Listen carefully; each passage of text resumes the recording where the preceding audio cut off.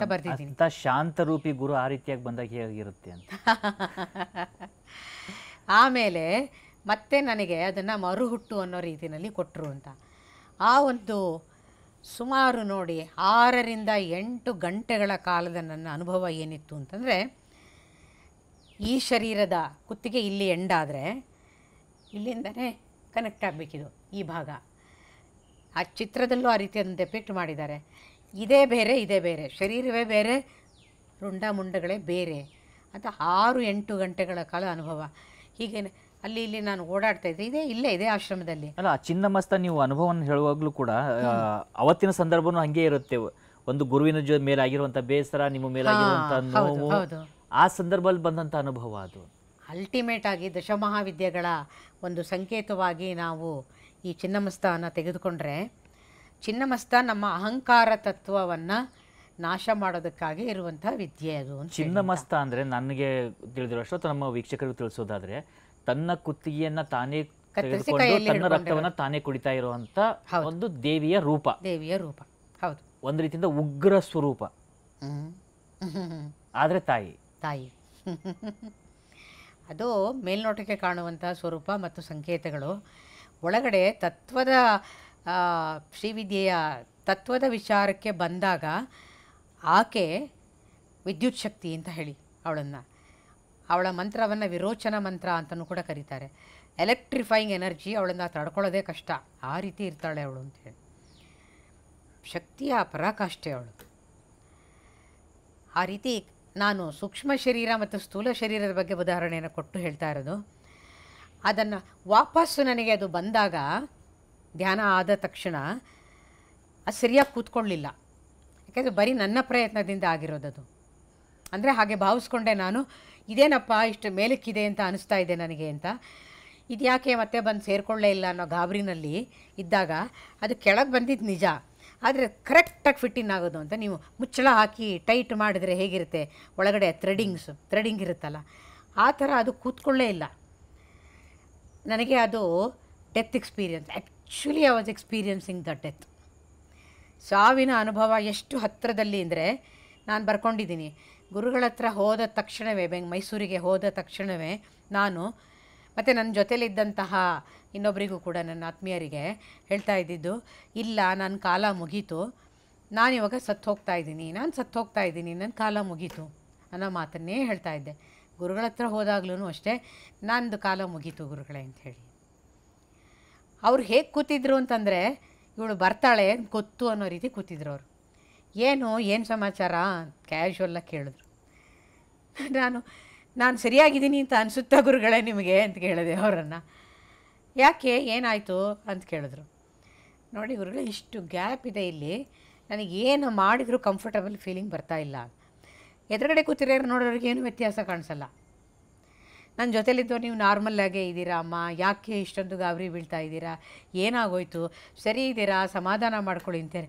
ಇಲ್ಲಪ್ಪ, ನಿಂಗೆ ಇದು ಗೊತ್ತಾಗಲ್ಲ ನಿನಗೆ. ನನಗೆ ಏನಾಗ್ತಿದೆ ಅಂತ ನನಗೆ ಮಾತ್ರ ಗೊತ್ತಾಗ್ತಾ ಇದೆ. About four five feet I mean fingers ವ್ಯತ್ಯಾಸ. ಬಹಳ ಹಿಂಸಾದಾಯಕವಾಗಿರುತ್ತೆ. ಸೂಕ್ಷ್ಮ ಶರೀರ ಸ್ಥೂಲ ಶರೀರ ಜೊತೆಗೆ ಬ್ಲೆಂಡ್ ಆಗಲಿಲ್ಲ ಅಂತಂದರೆ. ಏನು ಮಾಡಿದ್ರು ಗುರುಗಳು? ಹೀಗೆ ಬಗ್ಗಿದ್ರು, ಟಪ್ ಅಂತ ಒಂದು ಸರಿ ತಲೆ ಮೇಲೆ ಕೈ ಇಟ್ಟರು, ಹೊಡೆದ್ರು ಸೆಟ್ಟಾಗಿ ಕೂತ್ಕೊಂಡ್ಬಿಡ್ತು ಮುಕ್ಕಾಲು ಗಂಟೆ ಹಾಗೆ ಕೈ ಇಟ್ಕೊಂಡು ಕೂತಿದ್ದು. ಅಂದರೆ ನನಗೆ ಅದಷ್ಟು ಇಡೀ ಶರೀರಕ್ಕೆ ಅದು ಸೆಟ್ಟಾಗಿ ಪ್ರಾಣ ಮತ್ತು ಬೆಳಕು ಎರಡೂ ಕೂಡ ಶರೀರದ ಒಳಗೆ ಈಕ್ವಲ್ ಆಗಿ ಅದು ಡಿಸ್ಟ್ರಿಬ್ಯೂಟ್ ಆಗಬೇಕು. ಆಗ ಏನು ಸೂಕ್ಷ್ಮ ಶರೀರ ಇದೆ ಕರೆಕ್ಟಾಗಿ ಒಳಗಡೆ ಟೈಲರ್ ಮೇಡ್ ಥರ ಫಿಟ್ಟಿನ್ ಆಗುತ್ತೆ ಅಂಥೇಳಿ ಅದು ಆಗಲಿಕ್ಕೆ ನಲವತ್ತೈದು ನಿಮಿಷಗಳ ಕಾಲ ಗುರುಗಳು ನನ್ನನ್ನು ಧ್ಯಾನದ ಸ್ಥಿತಿಯಲ್ಲೇ ಇಟ್ಟು ಕಣ್ಣಲ್ಲಿ ಸುಮ್ಮನೆ ನೀರು ಹರಿತಾನೇ ಇದೆ ನನಗೆ ವಾಲಂಟರಿ ಐ ಮೀನ್ ಇನ್ವಾಲಂಟರಿ ಏನು ಮಾಡಬೇಕಂತ ಗೊತ್ತಿಲ್ಲ.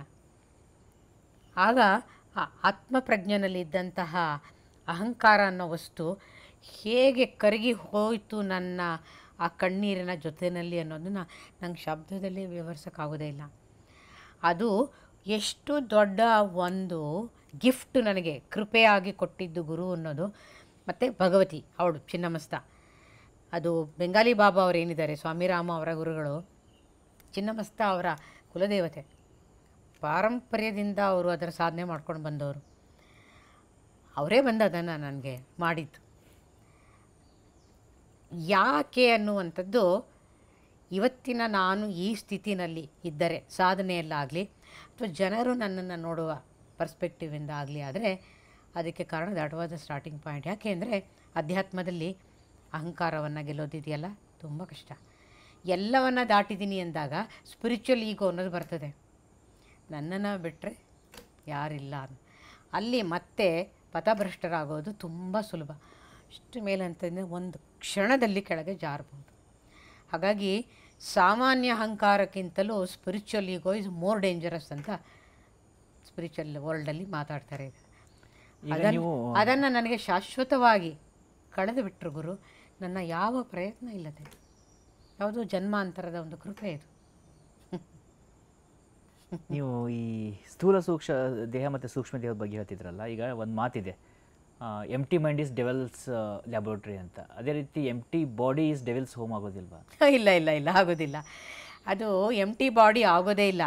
ನೋಡೋರಿ ನಮಗೆ ಹಾಗನ್ಸುತ್ತೆ. ಆ ಶರೀರದ ಒಳಗಡೆಗೆ ತುಂಬಿರೋದೆಲ್ಲ ಬೆಳಕೆ. ಆ ಬೆಳಕಿನ ಶರೀರಿಗೆ ಇದೊಂದು ಚರ್ಮದ ಹೊದಿಕೆ. ಹೀಗೆ ರಿವರ್ಸಾಗಿ ನಾವು ಯೋಚನೆ ಮಾಡಬೇಕು. ಹಾಗಾಗಿ ನಾನು ಯಾವಾಗಲೂ ಈ ಮಾತನ್ನು ಹೇಳ್ತೀನಿ. ಇದಕ್ಕೆ ಮಧ್ಯದಲ್ಲಿ ಒಂದು ಪ್ರಾಣದ ಕವಚ ಬೇರೆ ಇದೆ. ಒಂದು ಲೇಯರ್ ಇದೆ.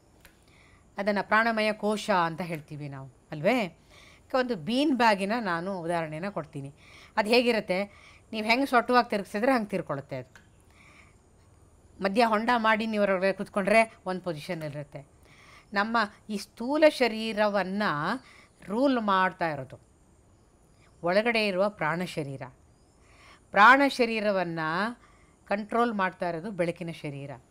ಎಲ್ಲಿಯವರೆಗೆ ಬೆಳಕಿನ ಶರೀರ ಆರೋಗ್ಯಪೂರ್ಣವಾಗಿರುತ್ತೆ ಇನ್ ಇಟ್ಸ್ ರೈಟ್ ಫಾರ್ಮೇಷನ್. ಇದೆ ಅಂತಾದರೆ ಪ್ರಾಣ ಶರೀರ, ಸ್ಥೂಲ ಶರೀರ ಆರೋಗ್ಯವಾಗಿದೆ ಅಂತ. ಹಾಗಾಗಿ ಯೋಗಿಗಳೇನು ಮಾಡ್ತಾರೆ? ಯಾರಿಗಾದರೂ ಅನುಕಂಪದಿಂದ ಆರೋಗ್ಯವನ್ನು ಸರಿಪಡಿಸಬೇಕು ಅಂತಂದರೆ ಈ ಶರೀರವನ್ನು ಅವರೇನು ಟಚ್ಚೇ ಮಾಡಲ್ಲ. ಕೇವಲ ಆಲೋಚನೆ ಅಥವಾ ಅಂತಶ್ಚಕ್ಷುವಿನಿಂದ ಶಕ್ತಿಯಿಂದ, ಆ ಒಳಗಿನ ಪ್ರಾಣ ಶರೀರ ಮತ್ತು ಬೆಳಕಿನ ಶರೀರದಲ್ಲಿ ಎಲ್ಲಿ ಡ್ಯಾಮೇಜ್ ಆಗಿದೆ ಅಂತ ನೋಡ್ತಾರೆ. ನೋಡಿ ಅದನ್ನು ಹಿಂಗೆ ಸೆಟ್ರೇಟ್ ಮಾಡಿಬಿಡ್ತಾರೆ. Then you become healthy person ಹಾಗಾಗಿ ಅದು ಎಂ ಟಿ ಮೈಂಡು ಪ್ರಶ್ನೆನೇ ಇಲ್ಲ. ಅದು ಯಾವತ್ತೂ ಆ ರೀತಿ ಖಾಲಿ ಆಗೋದೇ ಇಲ್ಲ. ಅದರಿಂದ ತುಂಬಿರುತ್ತೆ ಅದು. ಈಗ ನಾವು ಇಷ್ಟೊತ್ತರೆಗೂ ಮಾತನಾಡ್ತಿದ್ದೀವಿ. ಆಧ್ಯಾತ್ಮ ಆತ್ಮ ಪರಮಾತ್ಮ ತಂತ್ರ ಮಂತ್ರ ಆಮೇಲೆ ಅನುಭವಗಳು ದೇಹವನ್ನು ಬಿಟ್ಟು ಹೋಗುವಂಥದ್ದು ಅಥವಾ ದೇಹದಲ್ಲಿ ವಾಪಸ್ ಬರುವಂಥದ್ದು ಇದೆಲ್ಲ ಸುಳ್ಳು. ನಾವೀಗೇನು ಮಾತನಾಡ್ತಿದ್ದೀವಿ ಇದಿಷ್ಟೇ ವಾತ್ಸವ. ಇದು ಪ್ರಶ್ನೆನೋ ಅಫರ್ಮೇಷನ್ ಬಹುತೇಕರ? ಭಾವನೆ ಇದು. ಏನು ನಮ್ಮ ಕಣ್ಣಿಗೆ ಕಾಣಿಸ್ತಾ ಇದೆ ಕಿವಿಗಳು ಕೇಳ್ತಾ ಇದೆ ಹಾಂ? ಇದೇ ವಾಸ್ತವಿಕ ಮನುಷ್ಯನಿಗೆ. ಅಷ್ಟೇ ಈಗ ಏನಿದ್ದೀವಿ ಇದಿಷ್ಟೇ ವಾತ್ಸವ. ಯಾವುದೇ ಕರ್ಮ ಇಲ್ಲ ಅಥವಾ ಭವ್ಯ ಯಾವುದೇ ರೀತಿಯಾದಂಥ ಅನುಭವಗಳಿಲ್ಲ. ಕೇವಲ ಕಲ್ಪನೆಗಳಿದ್ದಾವೆ ಕನಸುಗಳಿದ್ದಾವೆ ಅಷ್ಟೇ. ಇದು ಒಬ್ಬ ಸಾಮಾನ್ಯನ ಚಿಂತನೆ ಯಾಕೆ ಅಂತಂದರೆ ನಮ್ಮ ಬುದ್ಧಿಗೆ ಮತ್ತು ನನ್ನ ಮನಸ್ಸಿನ, ಮನಸ್ಸು ಅಂದರೆ ಭಾವನೆಗಳು, ಮನಸ್ಸು ಅಂತಂದರೆ ವಿಚಾರಗಳು. ವಿಚಾರದಿಂದ ಭಾವನೆ, ಭಾವನೆಯಿಂದ ಮತ್ತೆ ವಿಚಾರ. ಹೌದಾನೆ ಇದರಿಂದ ಕೂಡಿರುವ ಈ ವ್ಯಕ್ತಿತ್ವ ಮತ್ತು ಇದನ್ನು ನಾವು ಬಳಸ್ಕೊಂಡು ವ್ಯಾವಹಾರಿಕ ಪ್ರಜ್ಞೆಯಲ್ಲಿ ನಡೆಸುವಂತಹ ಜೀವನ ಇದೆಯಲ್ಲ? ಅದು ಯಾವ ಸ್ವರೂಪದಲ್ಲಿರ್ತದೆ ಅಂತಂದರೆ ಇಂದ್ರಿಯಗಳಿಗೆ ಗೋಚರವಾದಂಥದನ್ನು ಮಾತ್ರ ಗ್ರಹಿಸುವ ಮನಸ್ಸಾಗಿರುತ್ತೆ. ಹ್ಞೂ ಹಾಗಾಗಿ ನಾ ವೀಕ್ಷಕರು ಇವಾಗ ನಮ್ಮನ್ನು ಕಣ್ಣ ಮೂಲಕ ನೋಡ್ತಾ ಇದ್ದಾರೆ, ಕಿವಿ ಮೂಲಕ ಕೇಳ್ತಾ ಇದ್ದಾರೆ. ಇದೆರಡು ಅವರ ಇಂದ್ರಿಯಗಳಿಗೂ ಅನುಭವಕ್ಕೆ ಬರುವ ವಾಸ್ತವಿಕತೆ. ಆದರೆ ವಿಷಯ ನಾವು ಮಾತಾಡ್ತಾ ಇರೋದು ಈ ಶರೀರ, ಪ್ರಾಣ, ಮನಸ್ಸು, ಬುದ್ಧಿ, ಮತ್ತು ಇನ್ನೊಂದು ಆನಂದ. ಆನಂದವೂ ಕೂಡ ಮಟೀರಿಯಲ್ ವರ್ಲ್ಡಿಗೆ ಸೇರಿರುವಂಥದ್ದು. ಈ ಐದರ ಪಂಚಕೋಶಗಳನ್ನು ದಾಟಿದ ವಿಷಯವನ್ನು ನಾವು ಮಾತಾಡ್ತಾ ಇರೋದು. ಇದಕ್ಕೆ ಬೇಕಾಗಿರೋದು ಬೇರೆ ರೇಂಜ್ ಆಫ್ ಯುವರ್ ರಿಮೋಟ್ ನಮಗೆಲ್ರಿಗೂ ಗೊತ್ತು. ಏನು? ಟಿ ವಿಯನ್ನು ಆನ್ ಮಾಡಬೇಕಾದ್ರೆ ಯಾವ ರೇಂಜಲ್ಲಿ ಕುತ್ಕೊಂಡ್ರೆ ಇದು ವರ್ಕ್ ಆಗುತ್ತೆ ಅಂತ ಹೇಳಿ ಅಂತ. ಹೆಚ್ಚು ದೂರ ಹೋದರೆ, ಅದು ರೇಂಜಿಂದ ಆಚೆ ಇದ್ದರೆ ಅದು ವರ್ಕ್ ಆಗೋಲ್ಲ ಅಂತ. ಹೊತ್ತಾನೆ ಅವಾಗ ನಮಗಲ್ಲಿ ಯಾವ ಚಿತ್ರಗಳು ಕಾಣಲ್ಲ. ಸ್ಕ್ರೀನ್ ಇಸ್ ಡೆಡ್ ಶ್ರವಣ ಮಾಧ್ಯಮವೂ ಇಲ್ಲ, ದೃಶ್ಯ ಮಾಧ್ಯಮವೂ ಇಲ್ಲ ಅಂತ. ಹಾಗೆ ಈ ಸಾಧನೆಗಳೆಲ್ಲ ಏನಿದೆ? ಇದು ಒಂದು ರಿಮೋಟ್ ಹೈಯರ್ ಪವರ್ ಈ ಐದು ಕಾಂಪ್ಲೆಕ್ಸ್ ಏನಿದೆ ನಮ್ಮದು ಅಸ್ತಿತ್ವದಲ್ಲಿ? ನಾನು ಅಂತ ನಂಬಿಕೊಂಡಿರುವಂಥ ಐದು ಲೇಯರ್ಸ್ ಆಫ್ ಅಸ್ತಿತ್ವ. ಇವುಗಳನ್ನು ದಾಟಿದ ಅಂದರೆ ಅಗೋಚರ ಅಥವಾ ಇಂದ್ರಿಯಾತೀತವಾದ ಅನುಭವಗಳು ಅನ್ನೋದು ನನಗೆ ಅದರ ಇರುವಿಕೆಯನ್ನು ಗುರುತಿಸೋಕ್ಕೆ ಆಗಬೇಕು. That is a different dimension of reality ಅದೆಲ್ಲ ನನಗೆ ಯಾಕೆ ಬೇಕು ಅಂತ. ಬೇಕಾಗಿಲ್ಲ. ಗುರುತಿಸ್ಬೇಕಾದ್ರೆ ಈ ವಿದ್ಯೆ ಬೇಕು. ಅಥವಾ ಆಧ್ಯಾತ್ಮಿಕ ನಿಲುವು ಬೇಕು. ನನಗೆ ಬೇಕಿಲ್ಲ ಅಂತಂದಾಗ ಅದು ಪಕ್ಕದಲ್ಲೇ ಇದ್ದರೂ ನನಗೆ ಕಾಣೋದಿಲ್ಲ. ನನಗೆ ಬೇಕಿಲ್ಲ ಅನ್ನುವವರೆಗೂ ಪಕ್ಕದ ಮನೆಯಲ್ಲೇ ಗುರು ಇದ್ದರೂ ಕೂಡ ಅವನೇನೂ ಮಾಡಲ್ಲ. ಹಾಗಾಗಿ ಇದು ಒಂದು ಜರ್ನಿ, ಆಧ್ಯಾತ್ಮಿಕ ಅನ್ನೋದು ಜರ್ನಿ. ಪ್ರತಿಯೊಬ್ಬರು ಝೀರೋ ಕಿಲೋಮೀಟರಿಂದನೇ ಪ್ರಾರಂಭ ಮಾಡಬೇಕಾಗುತ್ತೆ.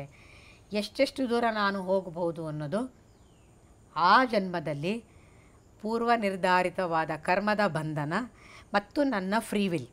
ಇವೆರಡನ್ನು ಬಳಸಿ ನಾನು ನನ್ನ ಜೀವನವನ್ನು ಶಕ್ತಿ ಮೂಲಕ ಎಷ್ಟು ಮುಂದಕ್ಕೆ ಗಾಡಿನ ತಳ್ಳಬಹುದು ಅನ್ನೋದು ಅಷ್ಟೇ ಸಿಗೋದು. ಸಮುದ್ರಕ್ಕೆ ನಾನು ಚಿಕ್ಕದೊಂದು ಪಾತ್ರೆ ಇಟ್ಕೊಂಡ್ರೆ ಅಷ್ಟೇ ತರ್ತೀನಿ. ದೊಡ್ಡ ಬಕೆಟ್ ಇಟ್ಕೊಂಡ್ರೆ ಅಷ್ಟೇ ತರ್ತೀನಿ. ಹಾಗಾಗಿ ಈ ಪ್ರಕೃತಿನಲ್ಲಿ ನಾನು ಆಧ್ಯಾತ್ಮಿಕ ದಾರಿಗೆ ಬರಲಿಲ್ಲ ಅಂದರೆ ಈ ಜಗತ್ತಿನಲ್ಲಿ ಯಾವ ವ್ಯತ್ಯಾಸವೂ ಆಗೋದಿಲ್ಲ.